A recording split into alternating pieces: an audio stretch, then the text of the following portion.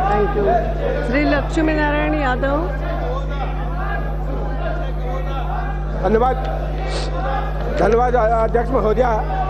सूल काल द्वारा अनुरोध है कि अन्य पिछड़े वर्गों के को अन्य वर्गों की तरह राष्ट्रीय धारा में लाने हेतु उनसे उनको 27 प्रतिशत का आरक्षण प्रदान किया हुआ है। यह केवल उन परिवारों को मिलता है जिनकी सालाना आय छः लाख रुपए से तक है। उनके उनको अन्य पिछड़े वर्गों को शिक्षा और रोज़गार में मिलने वाली सत्ताईस प्रतिशत आरक्षण का लाभ नहीं नहीं मिलता जो इससे ज़्यादा राशि को, को वार्षिक रूप से प्राप्त करते हैं। इसमें 2013 में छः लाख रुपए इसको किया गया था।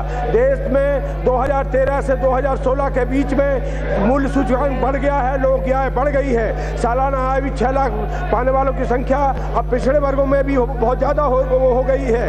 है उन्हें रोज़गार में आरक्षण के अभाव में शिक्षा में आरक्षण की सुविधा नहीं मिलने से वे परिवार वे अपने परिवार को समुचित विकास से वंचित रखे रखेंगे।